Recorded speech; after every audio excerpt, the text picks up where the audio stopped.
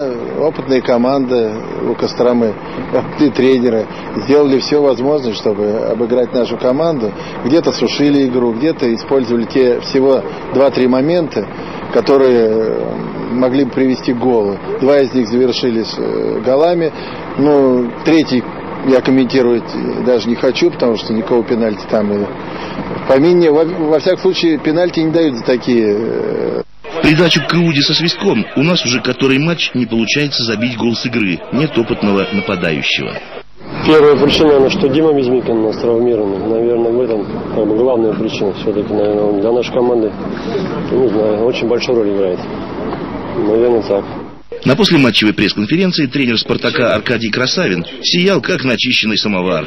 Однако, когда разговор зашел о судействе, наставник красно-белых попытался уйти от деликатного вопроса. Вы говорите по существу. Вас интересует, кого убили. Кого здесь убили?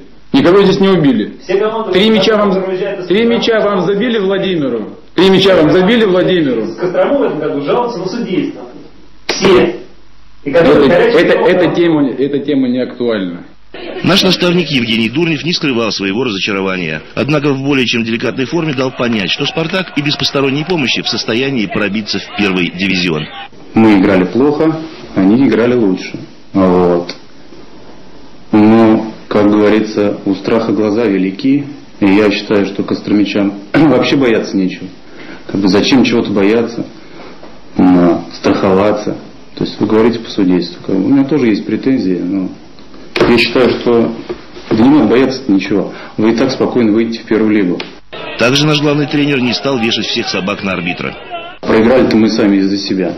То есть первый быстрый гол. Да мы знали, что и бегут они с самого начала. Вот. Просто некоторые футболисты у нас то хотят играть, то не хотят играть, понимаете?